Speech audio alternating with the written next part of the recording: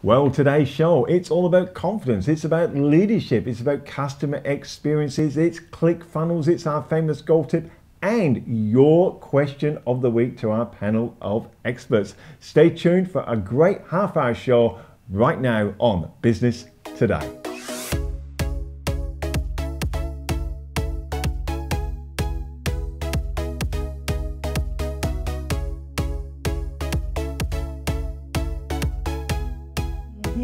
What a show. We're talking about opportunities, click funnels, leadership, and probably something that is uh, really opportune at the moment confidence, considering what's going on with the coronavirus.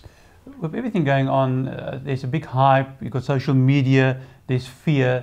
And if you don't have confidence in making decisions in your business, nothing will happen. And this is, I think, this is where also where you there's a, a, divide now between successful and unsuccessful people because successful people are going to look for opportunities now and yeah. have the confidence to act on it. Look, if you've got any questions for us, just put them in the column. We do see them pop up. We, we tend not to answer while we got the show going because we've got too many other buttons to, to press. But hey, like, subscribe. Don't forget to give us your comments, share it with other friends. We're going to kick the show off with Helia Singh. Now, she's a self made millionaire, and right now she's going to talk to us about confidence. Question that I usually get asked by many people is this What's your number one tip for finding confidence to do business your way? Well, as a woman, it's not easy to you know, play in this game of business because uh, typically business world is driven and ruled by men and of course men the way that they rule and the way they think the way that their goal setting is set up is completely different to a woman but for me uh, it's just to know what i want and stick with it and follow my passion. Don't ever compare myself to someone else. That was my biggest, uh, basically, adventure there. Uh, as a woman, we always try to uh, get validation from others. No matter how successful we become, we try to get validation from either our parents, our uh, partner, our children, even, and even from our male colleagues, because we just want to make sure we are doing the right thing. Or uh, you know we are not threatening someone else's in a game because we are playing away in a high level. So but by not worrying about others to me just that care itself showed to me that okay i don't have to prove myself to anyone. All i have to do is just follow what i believe and every time i feel demotivated one of the things that i do and maybe that's a good exercise for everyone is just look at what you do. If you've got uh, competitions or somebody that you just think that you are not as good as them and that really makes you feel bad about yourself, stop following them. You don't have to see what others are doing. Just uh, look at what you're doing and just, just try to compete with the person in the mirror every day. Well, there was Helia, and I said, I thought that was fascinating the conversation we had with her about confidence. And I love her comment at the end about it's all about the person in the mirror. You, as the business owner, it's all about you. You need to have the confidence to make decisions and unfortunately, now you make decisions that will affect everybody in your business. Yes. And, you know, we've got the coronavirus going on, and people are getting a little bit stuck now. They're going, oh, well, people aren't coming to the shops, or they don't want to come to events. You know, we've got wedding planners at the moment going, what's happening to my business? And we caught up with Andrew Ford, and I think this is really opportunistic right now because he talks about customer experience and the importance and how he's built his in Ford and Doonan air conditioning? Your, your customer experience is everything because people will talk about it afterwards. And especially now, you, because things are going not your way, yeah. you will need to look for opportunities, have the confidence, like what Helia said, yes. but then also now to give the customer the best experience ever. Well, here we are again with Andrew Ford, Ford and Doonan, air conditioning fame. And mate, one thing I really wanted to talk to you about today was you built your reputation on customer experience. And I think there's a few business owners just think they can just do the sale and then that's about it. But you went a little bit deeper. Yeah, I don't think anyone can just do what the um, just do the sale anymore. I think I think the summary of this is we've got to exceed the customer's expectations which is getting harder and harder with the consumer getting more and more demanding with um, you know, online and speed. Mm. They want everything straight away. So it is getting harder to meet their expectations, much much less exceed them. But that's the key to customer service: is doing something that they're not expecting. Mm. Apart from the obvious. So the obvious yes. being, you know, we've always been big on uniforms, so they know straight away who they're dealing with. Yep. All our staff have name tags on, so they can address them by their first name. Straight away, that builds a different level of rapport. Mm. And of course, it goes without saying that you've got to be polite, well mannered, and get the get the client to like you. That's the secret. I, it reminds me of a story um, where I think Kyle went out doing some quotes. He ended up having dinner with the clients That's because right. he got to know them so well. Yeah, it was meant to be a half hour or 15 minute pick up some drawings. And he finished yeah. up being there an hour and a half later and invited to stay for dinner. So if you get that, obviously you've built great rapport if they're offering you to stay for dinner. I know. One thing that I found with Ford and Doonan, you when this is a something that I think um, business owners can learn a lot from when it comes to customer experience is that when your customers have a problem, you're ready to let's fix it first, and then we can work it out later. And you don't argue about right or wrong in this.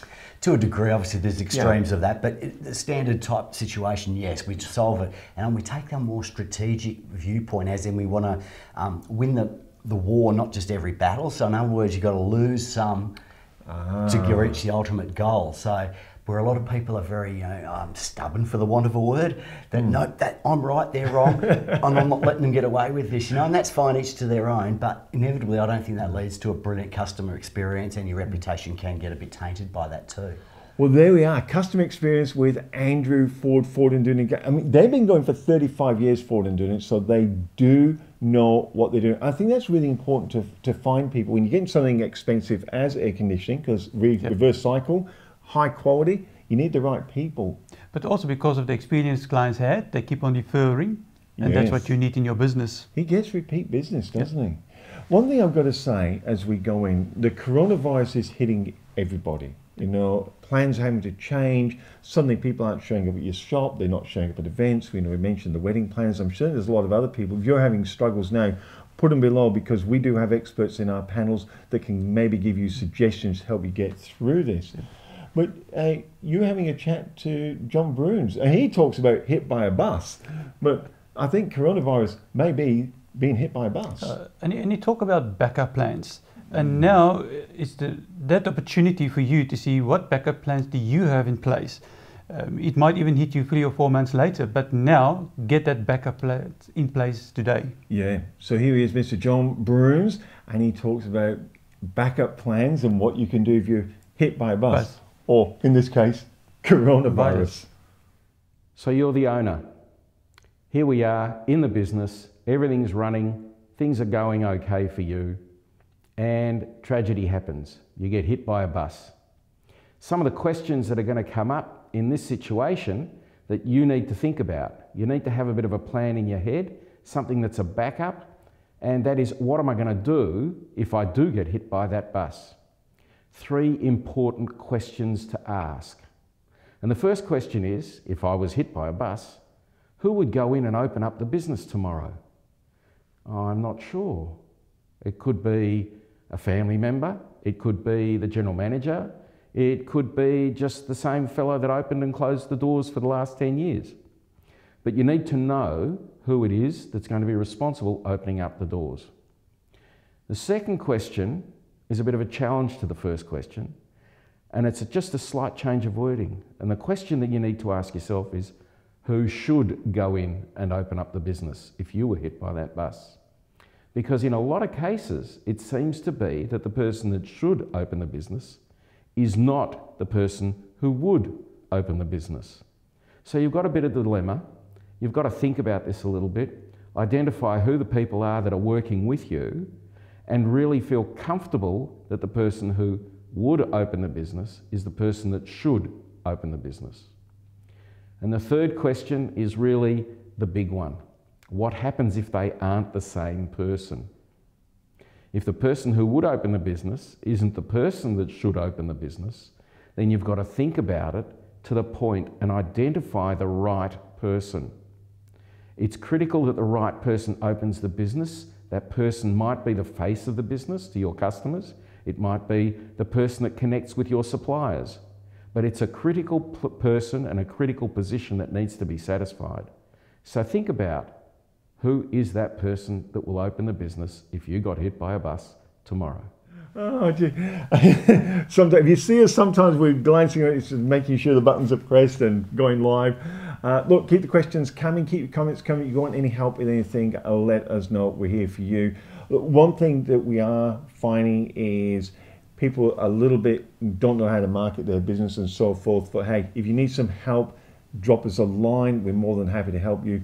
Video production, exactly what we do. Content is king. If you need a bit of help with that, we'll do that. Talk about cameras and turning them on, Gerard. And you had some fun during the week. Well, we, we had an idea last week, and we thought when, when our guest speakers comes to the to come and visit us, is to ask him a question. We don't let him know what we're going to ask him, and they only got 60 seconds to answer. So the question this week was, what is your definition of success? I used to think success was making money, growing businesses, um, and uh, having uh, having this picture of being a tall poppy. Uh, I, I've since mellowed. My wife has brought me down to earth, and I really see success now as relationships, the people that I work with, the people that I share time with, making sure that I can contribute value to them uh, and to grow our relationship, to have value uh, between us. My definition of success is knowing that what I've done yesterday, so I can actually top it up, I can do better.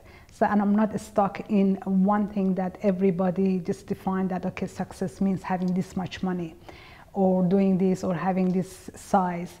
Um, but me, success is a journey, and if every day I'm moving towards that, it doesn't matter how slow, that is my definition of success itself.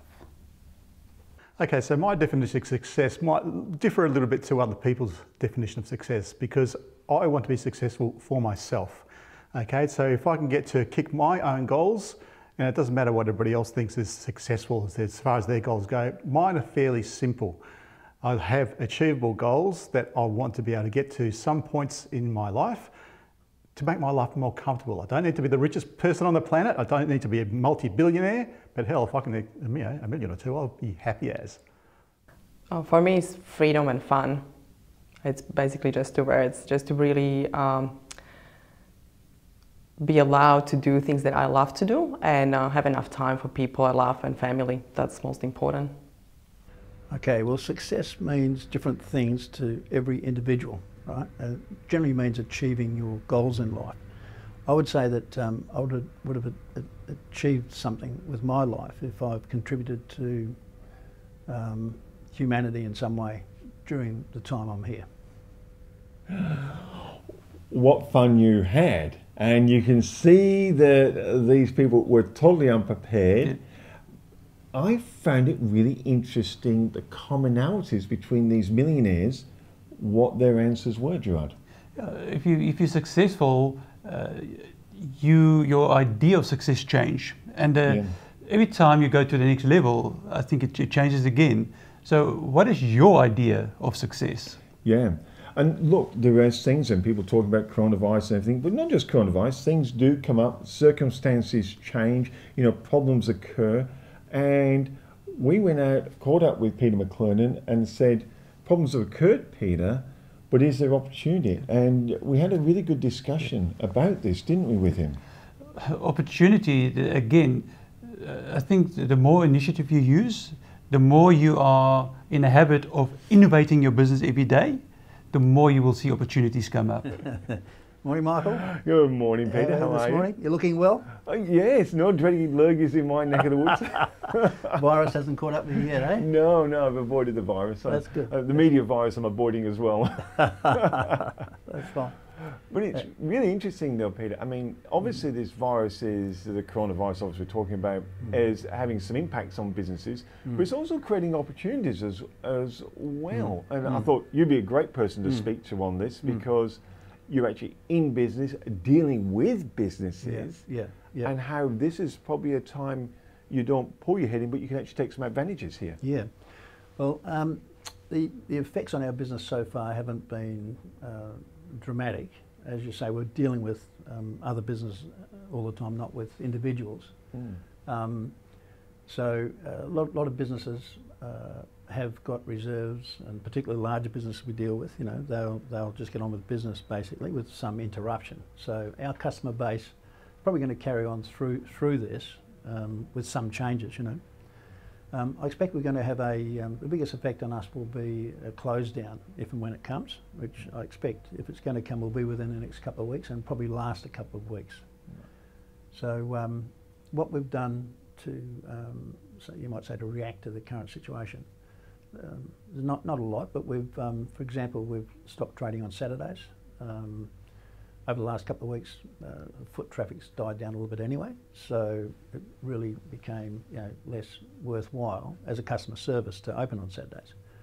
We'll reopen again probably in a month or two once um, things have settled down a bit, you know. Yeah. So that's one reaction. Um, the other thing we're doing is watching the um, incentives that um, uh, put out by the state and federal governments to assist um, small business. And I think the most worthy of those is actually the federal government's um, proposals, you know. So from our point of view, uh, one of the biggest ones is the $150,000 um, tax, uh, uh, asset investment tax deduction that's offered by the federal government. So anybody investing up to $150,000 um, into business equipment plant, which is what we sell, office Mm. furniture, shelving, racking, shop fittings and so on. Um, all of the things we sell are tax deductible for businesses. Um, that'll create a great incentive for businesses that do have the capital and do have the reserves to purchase before 30th of June. So there's, a, there's two parts to this, I suppose. Then the the smaller businesses you're saying now can be having a look at not only how they can take advantage of this capital investment to get the tax write-offs, Mm. but if you're in business and selling to business, Mm. this is perhaps an area you can start to focus on, and Yeah. then how you can deliver those products and services Mm. in, in the meantime, so that people benefit all around. Yeah, well, we've shifted some of our sales, some more of our sales to online. Um, that's because um, we're offering free delivery online to clients that purchase over $300 worth of uh, stock Yeah. or equipment. Um, that's to uh, make it less necessary for people to come into the store, you know. So if they shop online, we'll deliver it free. So you've looked at an issue now that's created a problem, Mm. and then found a solution that'd be attractive to your customers. Yeah. And and I suppose that's good for businesses to look at. They look at what what you're doing here at Business Base, Mm. and and go, that's that's quite interesting how you've shifted, Mm. and then not only just shifted out where you sell, but give an incentive to try and assist people as well, Mm. which obviously builds your brand and builds a reputation and Yeah. keeps your cash flow going. Yeah, that's right. And I'm also looking there at the possibility of that um, close down, which means that we can continue to take orders and uh, make sales online through that period. So we'll have someone operating at home, you know, taking uh, orders and um, you know making sure that deliveries are made as soon as this um, shutdown Mm. period finishes. You know, Yeah. which we hope would be sometime in mid-April or, you know, to enable the May and June months, which are the prime months for businesses investing in the types of things that we sell, Hop- hoping that by that time, you know, things will be back to relative nor- normal, yeah, Yeah. normality. Yeah. So if I was a business owner now, I'm probably going to be looking at maybe I should catch up with my web developer, get my online store Yeah. up to speed, Yeah. offer some incentives, Yeah. And and start looking at that customer service like you guys are Mm. doing at Business Base Mm. in how to deliver the customer service online. So those that Mm. have that concern, Yeah. you, you're alleviating it and taking advantage of these government write-offs as well. Well, see, a lot of the, a lot of these businesses will still be thinking about how they're going to spend that incentive, you know, in May and June, you know, during that period that they're at home. Yeah. know. So, um, you know, making plans, maybe looking at a fit out or refreshing the office or whatever, you know, um, you know, that they're able to uh, work through those plans, contact us, we can give them information, they can come to a conclusion and place an order during that period of time for delivery uh, in May and June. You know, so um, the other thing we do is we do EDM, so we send out emails to our um, customer base, our client base on a regular on a regular basis. And at the moment, we're sending out information about that free delivery online, and Mm. also we'll start to send out more information about the government incentives in relation to tax deductions for uh, investments in assets. Yeah. yeah. Well, that was great catching up with Peter McLernon and showing you as circumstances change around how you need to be adaptable. The opportunities, I think, is spotting them opportunities, is how you can get in front of that curve. But if, even if you go back to Helia earlier to say you need to have the confidence Yes. to then act on that opportunity as well. Yeah, I think when you have a look at the likes of Helia Singh, you know, Andrew Ford, the Peter McLernons, the John Broons, they're all bringing to the table, as you said, confidence. I think that's really Yeah. well is is kind of gelling all this together on this show, especially Exactly. with the circumstances that is going on. But uh, all of these people are so positive. Yes, absolutely. Now we went out, and who did we catch up with next, Gerard? With Alex. with Alex, and she said a really important thing right now is leadership. We need leadership, especially when there's a disaster, there's epidemic. We need good leaders. We don't only see it in business, but also in, in governments, mm. how they deal with this. Yeah. Well, here we are again with Alex from the Mentoring Effect. How are you, Alex? Good, thank you. How are you? I'm really good. Oh, it's really interesting because before we came to Canberra, you said you would like to talk about leadership. You thought that was really important, especially what's going on around the world Yeah. today. And I was- ago, what does leadership actually mean to yourself when you go into companies? Uh, yeah, look, it's very important from the beginning of your business. That means from the time that you're setting up the business, you already should think as a leader. And that's why I'm always kind of having in my mind like a four different steps of structure that I'm using. Okay. It's kind of like an alignment model. That means you're sure everything is going well in your company. Yeah. Um, Come on. I, I want to get right into this. okay, yeah. four steps. Yeah, okay. Look, first thing I, I would say, or I would su- suggest uh, every leader should be aware of uh, their environment. That means you're talking about the business as itself, that means setting up your goals, vision, mission. And now, because you're a leader, you should think about your team if they actually are aware of the vision and mission of the company.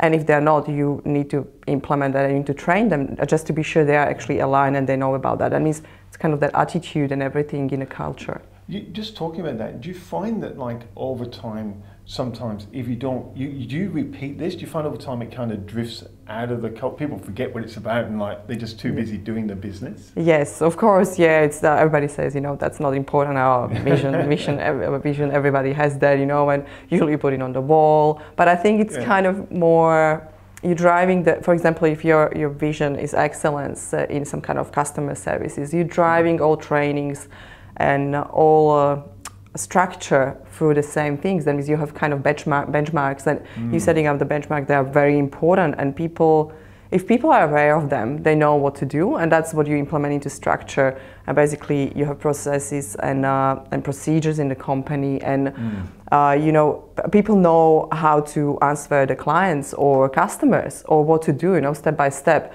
I know it, it sounds overwhelming and too much, you know, bureaucracy. We want to avoid that. But one thing I do like about that, what you're talking about, is almost empowering the people in the company to make better decisions because they know what their decisions should align with. Yes, exactly. That's why you're setting up the values. For example, in um, uh, one corporate, we have values as a teamwork. There was value uh, thrive in change. That means you you were aware that it's going to be change. That can some, something bad happen. You know, like in hotels and on the cruise ships. Or if you have tourists, you know, on board, and it's always something crazy, and you can't change the nature, you can't change the weather, and yeah, sometimes really bad things happen, and you need to react. That means you, yeah, you just need to really thrive in that change, and, and just just do it, you know, and you need to allow So your what's people. step number two? That's step number one. Yeah, that was basically structure. That means you, Structure. you put everything into systems and you have clear processes and um, and people know what they're doing. That's important. And Mm. the implementation is basically how like you're going to train them. You're going to explain. That means it's, it's coming from the hiring session. I would say that Mm. means you actually tell people first, like, okay, this is the company. You should expect that. We have these kind of values, and you're also choosing people based on values, not skills. That I think we talked about that before. Yes, we did. And people are the most important. That's in my structure. People are most important uh, part. It's the fourth step, but it's most important in the company.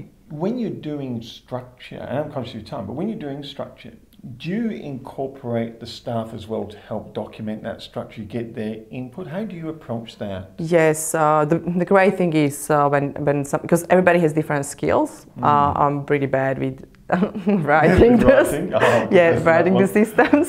Yeah. that means I always have someone who is really great. First of all, in English. The second of all, you know, in law, and, and really talking in a beautiful way, not like me. that means it's kind of good to have someone who is helping you to Hmm. put things together, and also the team is it, should be part of that as well. That means if you're choosing to have using Google Drive or cloud right now, you know, everybody should be aware of that and have training in to that. that yeah. collaboration. And what is step number three then? You, you said there was four of these things. Yeah, no, that was the implementation. We just kind of Oh, ran right. through. Yeah, that Yeah. means it's, uh, for example, we had uh, Google, Google Drive from beginning. We were Hmm. using that in a company, even if we didn't have a lot of people at the beginning, but basically from the first day we had system numbering, how to actually put together the files and everything. Yeah. And after that, you just bringing as a four step uh, all these to people, and you basically introduce them what you're doing, how you're doing that, and you try to teach them fun way how we do a it. fun way. When you wrap up leadership, and I know we're short for time, uh, you- you're very busy, um, but if you're wrapping it up and someone said, Look, I want to try and get some better leadership in my company, what would be your piece of advice to business owners looking on today? Uh, it will be first of all, don't panic. Just really calm down, sit down, and think about what you want to achieve. That basically starting from the end point. Uh, what is your goal? What is your mission? And after that, how you want to do it? Who you need to be, and really ask yourself yourself questions. I think that's very important. Alex, the mentoring effect, it's been fantastic having you on the show again. Thank you very much. Thank you very much. Thanks. Well, there we go. A leadership with Alex, uh, and she runs her business, the mentoring effect, really mentoring and team leadership building with people there. Now, coronavirus is, is tending to stop people going out and about, Gerard. I think it's the, this fear. Mm. Uh, we listen to social media, where Yeah. we, I think, most of our, our, our information comes from social media. Yes. Uh, and that's why I think the next topic is so important again, is uh, about talking about Facebook. yeah, and how we can, if people aren't coming to us, how we can use Facebook to go to them. Exactly. And that's why, because Facebook changed the algorithm so much, it's important to speak to somebody that's an expert to tell you how to get your message out. Yes. And this week, what uh, Ivor said he wanted to talk about was ClickFunnels. In other words, bringing the business to you. Even though the people may not physically be coming to you, how we can use ClickFunnels to actually bring the business to you and using Facebook as the entry point for them. I found this very, very interesting. But again, we use the social media, Facebook, to do that. And what Peter said, now we go online and we do sales online. So everything, there's opportunity in what we do. Everybody, welcome back. The last couple of episodes we talked about the importance of different elements within your business Facebook page. Now if you haven't seen them before, go back over the episodes, make sure you do the actions and follow the tips. Now look, just one thing came across to me the other day was people have reached out because they've actually realized that my main focus of my business is funnels, specifically ClickFunnels. Now I do sales funnels, membership funnels, product or services, it doesn't matter. The typical I say to people is if you've got a product or service to sell or promote, you're talking to the right person. Funnels can be used in any business. Doesn't matter what you are, where you are in the world, drive leads for charity events, ticket sales, you throw some comments across, I know I can build you a funnel. Now, this email came to me on please explain basically the power of funnels and how I can use it within this person's business. Now, this guy's a professional business offering professional services within Perth, and he didn't realize that the power phones could be used in his business. Now, he is a broker. The thing is, he was looking at it from an, the wrong perspective. He was looking at it to showcase his services, but what he wasn't doing was putting out in the marketplace a video with a point of the funnel to collect their email information on how he can help them he was sending people to a typical website and so on that explains what they do, but people know what a broker does. If I say to you, what does an accountant do or what does a lawyer do, you're going to know. But the point of a funnel is that funnels have one purpose, is to help you understand more how that particular business can help you achieve your goals. You'll have a social proof video on the top. You will have a collection email below where people give you their contact information. Then the funnel may or may not take you to the next step. Product funnels, for example, the next step would be would you like an additional product? Would you like another product that complements the person on the logical journey of why they come into the stage one of the funnel, such as if you came in and bought, purchased some supplements, you might want uh, a weight loss guide, and then you might want a, a, a, newsletter to come through every month and giving you recipes. So back to the broker, the, what we've done with him was his initial funnel page one was about who he is and what he is.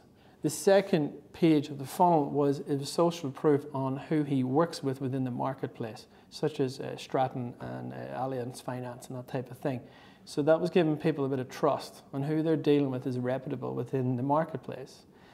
Now, the third step of his particular funnel, after they collected the email addresses and after he'd given them social proof, was would you like to come and talk about investment properties? Now, that might seem like a bit of a diversification away from the point of the funnel, but his avenue is that he can get you finance, he knows the deals, he knows the brokers. So once he gets you initially to sit down with him, he understands your financial position, where you're at, what you want to do. Majority of the people that are seeking finance within his realm are trying to do asset finance or property finance. So he knows that majority of those people will be interested in probably adding to their product or their property portfolio in the future. So he has went through, and that's what I went back over a few episodes on selective avatar. He knows his avatar are, are people of investment. They want to invest, they want to grow. So that is the point of his funnel. Other funnels that we have done and other questions we have answered is a simple one page testimonial, which is called a bridge page, which takes the person, puts a bit more trust behind their brand, takes them across to an existing shopping cart or an existing website to sign up. It's a simple one pager. It just gives your avatar that extra bit of trust in who you are and who you've worked with. And you are local and you're not in a different country trying to offer a service that you can't deliver on. That is the power of a funnel versus a website. So I've been, I get asked questions all the time, and I literally let people have their epiphany moment on how a funnel can work for them. So you're probably watching this thinking, well, my business doesn't suit it. I would just ask you to write down on a piece of paper, who are your avatar, how can you communicate with them better? And I guarantee you will come up with an epiphany moment going, oh yeah, we could, we could make a quick video on showing them our store. We could do a quick walkthrough to say if you come to our uh, hair salon, if you come to our beauty salon, if you come to our establishment, this is who we are, this is our staff, come meet our staff. That is bridging the page between will they work with you or not, or will they come and see your business or not. You're just pushing the trust even further to say, we are friendly, we are local, come with us. Back to the broker, what worked really well for him was he was able to explain to people their pain points of he does the legwork for you in his video. He doesn't want you to go off and shop around with 10 different industries trying to figure out the best deal. What he wants you to do is come to him, let him do the work for you, and then he will present deals that will match what you're seeking. That is his job. Without that testimonial video in the middle, there's no way of explaining that on a website. Because the video is in the funnel is called distractive marketing. When you're scrolling through your phone, you want to stop for a second, and listen to this video or watch the text. And then it takes you on a journey to follow up, to connect with that person. well, there's Ivor and ClickFunnels. We were smiling because we're going, how do we use that strategy for us? How can you use it for us? And look, if you want to share some of your strategies and ideas, put them in the comments. You know, let's ask us some questions. Let's share some ideas. Let's be a community that helps each other, especially in these particular circumstances and times we're going through. And what you listen to today is this see if you at least one thing that you can take mm. and implement in your business that will innovate and make it better. Yeah, and look, we are going to replay the show on Sunday, but it is permanently up on our YouTube channel. So you can go to Worthington Stoop, you can go to One Minute Millionaire, you can go to 101 Media Group TV there on YouTube. So it's in several places as well. But I thought the show today, what did you get out of it? I thought the confidence section yeah. was really important considering the times. And for me, was looking for opportunity. Yes, that opportunity one was really good. And you know what? It was it was when we talked to uh, Andrew Ford and he talked about making sure that customer experience is correct right now. I, I would go back and actually look through that and make some notes for yourself because I'm sure you're going to find some gems in that'll help you not just survive but thrive in these current circumstances. This is an ideal opportunity to do an audit on your business and all the systems. I love that. Do an audit on your business. Wow, fantastic. Hope you've really enjoyed the show. We love being with you again live. So keep those messages. We do like them. We do respond to everybody uh, when the tapes are running. Talking about tapes, I think we've reached about the end of the show, but we do have our golf tip. So we'll go out with Mr. Peter Hopkins. I almost called him Peter McLernon. That's what, you get, that's what you get for being alive. Peter Hopkins out there at Whaleback Golf Course. He's going to tell you how you can select the driver that's right for you so you hit it straight down the middle. We'll see you next week. Welcome to this week's tip brought to you by Top Tracer, your personal golf coach. This week we're going to look at how do we decide which driver to use, which one's going to go further, which one's going to go longer. We can use Top Tracer as our personal club fitter, helping you hit it straight down the middle.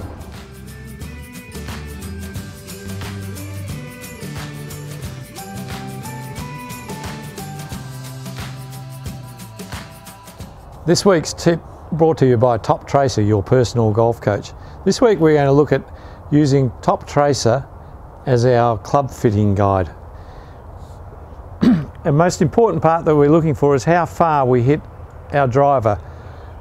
By using the information that we're going to get from Top Tracer, it tells us how far the ball goes and also what speed the ball's going off at and we'll be able to try one or two clubs against each other and see what the difference is on that.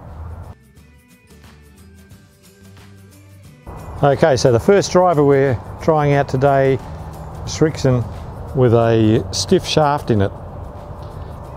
Then I'm going to compare that to another Srixon, but with a regular shaft in it.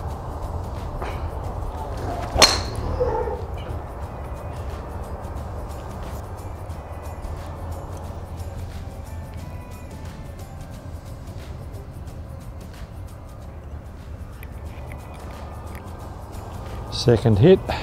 Let's see how we go.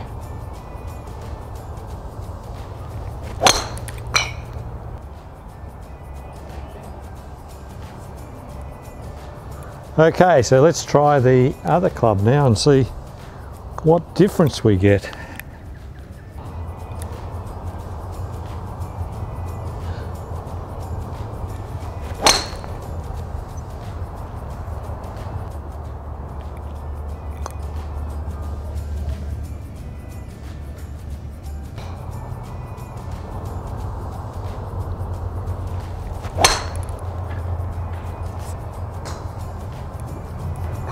So if you're not happy with your current driver, come down to Whaleback, grab a couple of drivers, come out on the top tracer range and hit some shots and you'll soon see which driver suits your swing the best so that you can hit it straight down the middle.